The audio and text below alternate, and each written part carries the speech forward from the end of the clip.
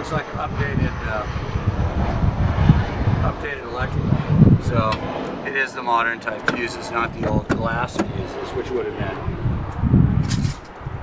the type they used back when this was constructed. So I'm going to give you a, a, a quick view of the street. And Don up on the front porch, trying to hide. So, just a couple blocks down there to C Street and Broadway.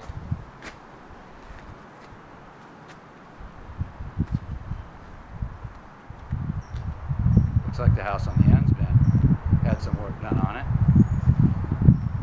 So you're basically at the end of the street right here.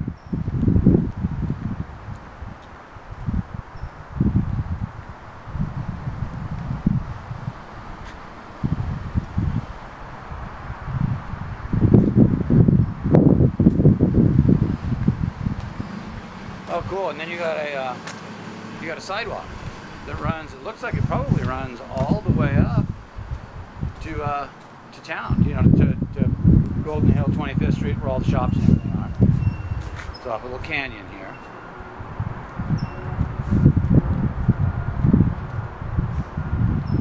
So nice area. I mean, tons of potential here, I think. But it is going to take some work, and, and sometimes that work can cause you some trouble with your financing, depending on what the appraiser calls out. Conventional, not so much, but but uh, you, you might need to get some renovation financing, which is available.